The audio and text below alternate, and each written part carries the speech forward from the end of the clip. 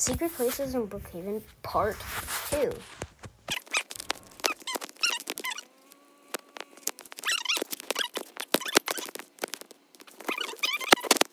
Go behind the x-ray machine and then uh, you have to turn yourself into a baby. So um yeah, that's what I'm gonna do.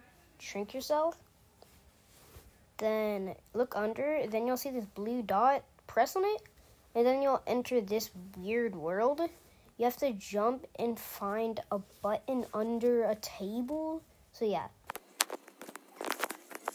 Then when you find the place, press the blue button and then you'll come right here. Like and subscribe for more videos.